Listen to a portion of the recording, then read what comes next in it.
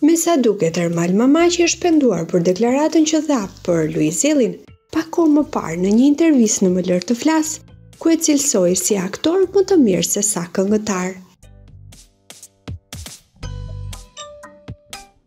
Sigurisht që Luizi nuk nguroi t'ia kthej reston, kur ishte i ftuar në të njëjtin emision dhe u shpreh se si shkrimtar me librin e tij bën kaushë për të shitur gështenja të pjekura.